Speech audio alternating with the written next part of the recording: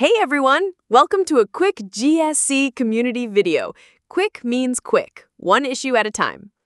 You've just launched your new website on a platform like WordPress or Blogger, submitting your sitemap to Google's Search Console, but you get this confusing error, missing XML tag. What does that even mean? Is your sitemap broken? Good news is, your site is probably fine. This is a super common issue with a very simple fix, so let's dive in. So, why does this error happen? The reason is that modern platforms like WordPress or Blogger are designed to be helpful. They automatically generate a sitemap file for you as soon as you set up your site. The problem is, they generate the container for the sitemap before you've put anything in it.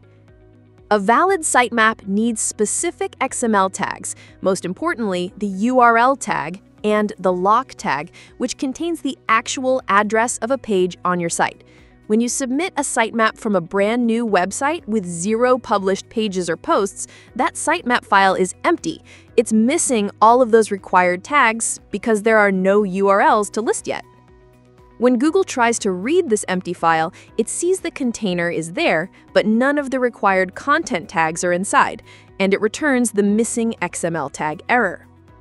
This brings us to the incredibly simple solution. Before you submit your sitemap to Google Search Console, you need to publish something first. Once you publish something, your website CMS will automatically update the sitemap file and add the URL of that new content. This adds the necessary XML tags that Googlebot was looking for. So the correct order is publish at least one page or post on your new site. Wait for some time for your sitemap to automatically update, now go to Google Search Console and submit your sitemap URL. And that's it for this video. If you're still having trouble, the Google Search Central Forum is a place to discuss. If you enjoyed this video, please like and subscribe for more. Thanks for watching.